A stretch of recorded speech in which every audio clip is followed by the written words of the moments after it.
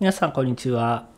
えー今日はドラム初心者におすすめの、えースティックの紹介ということで、えーやっていきたいと思います、えこのチャンネルでは楽器や音楽にまつわる、え雑談小話それから、えたまに演奏動画とかも上げてるんですけれども、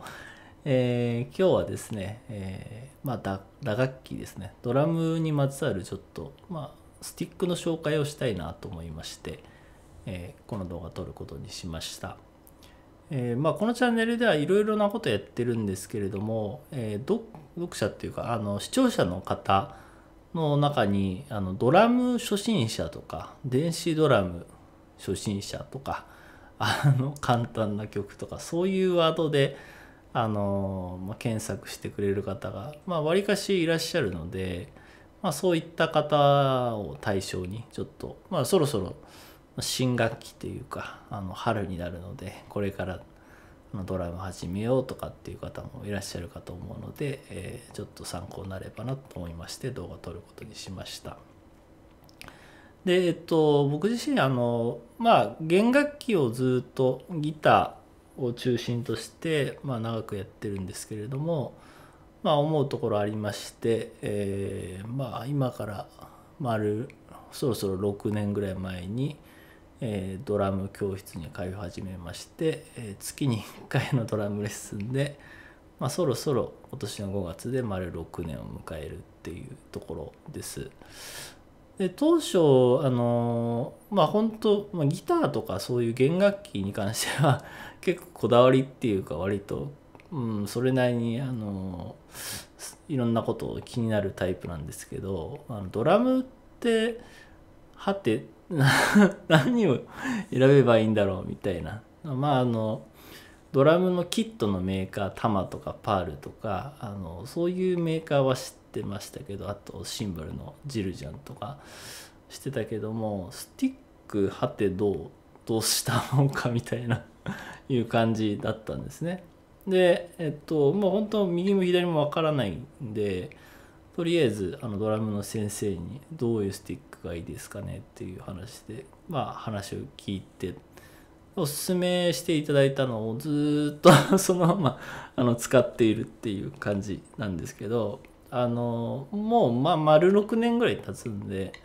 まあそろそろこれをおすすめしてもいいだろうと思いまして、えーご紹介します。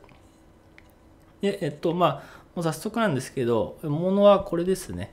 えードラムやってる方ならおなじみのビッグファースちょっとピンボケしちゃってますけどの、えーアメリカンクラシックの 5A というものです、えーアメリカンクラシック 5A はい。でまあビッグファースのあの 5A って言えばもうあのどなたでも知ってるっていうか あドラムやってる方だ僕ドラドラムのことを話せるあのあんま知人っていないんで あんまりちょっと分かんないんですけどまあでもいろんなあのサウンドハウスとかねアマゾンのレビューとか見たりするともう定番中の定番って書いてあるんであのまあ定番なんだと思います。はい。であのまあいろいろねあのインターネットに書いてあるあのレビューとかそういうのあると思うんですけど実際に使ってみた所感としてどうどういう感じなのかっていうのをお話ししたいと思います。でえっとこのスティックの素材ってまあいくつかあったりするんですけど、えーまあ、今もね 全然詳しくないんだけど、えーこれはあのヒッコリーっていうあの素材ですね素材木材ででえっとまあとにかくね重すぎずあの軽すぎずちょうどいいっていうことに尽きると思います。あの普段、えーそのレッスンとか練習とかでやるのって大体まあポップスからロックまあメタルまでいかないけど最近はニルバーナとかやってるんでハードロックとかあのまあそういう感じ、うん、まあもちろんブルースとかジャズとかそっち方面でも全然問題ないと思うんですけどまあオールジャンルこれでいけいいんじゃないのっていう感じです。であの うんまあいろんなタイプの人いるんでねその体格とか男性女性とかによってもその力の伝え具合とかスタイルにもよると思うんですけど、えー、僕自身これとそれからあと、まあ、試しにちょっと似たようなフィフィーリングのものとかを楽器店とかで、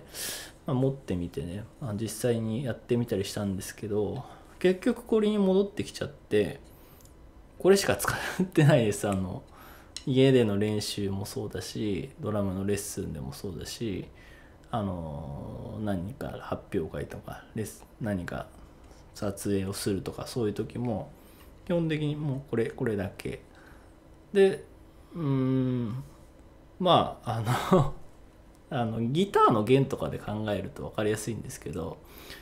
まあ、世界中のトッププロとかそのまあプロも使ってるしアマチュアも使ってるみたいのでまあ、ダダリオの弦とかあのアーニーボールとか、まあ、そういうスタンダードがあるのと一緒でまあドラムもとりあえずこれでいい これでいいっていうかもう、ま、間違いなくこれで大丈夫だよねっていうなんかそういう安心感がありますね。あの内容としてはとりあえずこれからとけば あの問題ないと思うよっていうあの話なんですけどえー、自分としてはその最初期の初期あの最初の最初って本当ドラムパッド何選んだらいいのかなとかまあスティックもそうだしまあちょっとそのちゃんとやってみようかなって思ったらやっぱドラムキットとかどうしようとかっていろいろま悩むっていうか知らなまず知らないんで調べるとこからっていうとこだと思いますのでえーまああえてですね多分ねドラムの先生とかプロの人とかあんまりこういうことはあんま発信してる人あんまり見たことないんでそのドラムのパターンとか効果的な練習法とかっていうのはまあ結構見るんですけど初心者の初心者が本当に知りたいこういうことって あの意外となんかシェアされてなかったりするのかなと思いましたので、えーまあ、ちょっと紹介させてもらいました。でちょっとあの詳細な情報あのメーカーの公式ページとあとあのなんか参考になるようなリンクとかあったらまあ Amazon のリンクとかも貼っておくのでよかったらあのまあ必要な方はお買い求めください。はい。えということで、えー、まあなんだろうな